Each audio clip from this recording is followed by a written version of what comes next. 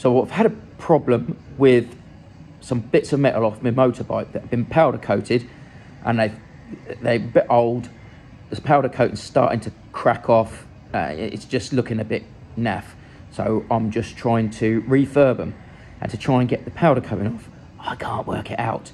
So let me show you what I've done. So what I've got here is this. Okay, it's come off the back of my motorbike.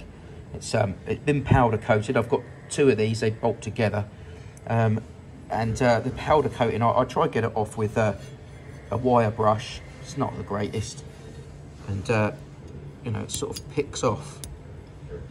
It's sort of flaking and stuff, and it's it's horrible. Right, it's just you're never going to pick that off. So I was thinking, how do I do this? Heat. Heat has got to be the way. I reckon it's got to be heat. So I've got myself a heat gun. And I'll show you what I'm doing. See, it start bubbling.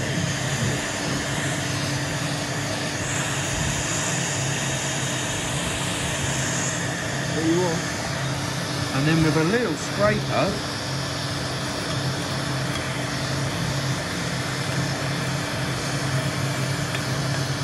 comes.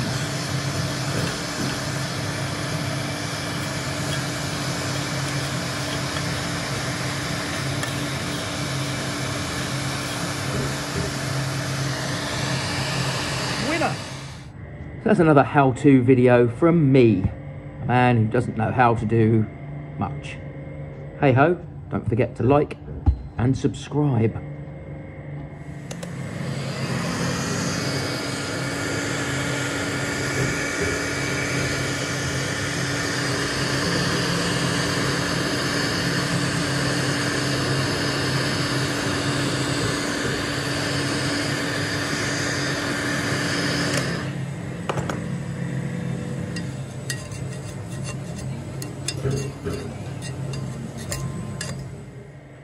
All clear. Ready for a bit of primer and a bit of paint. Yes.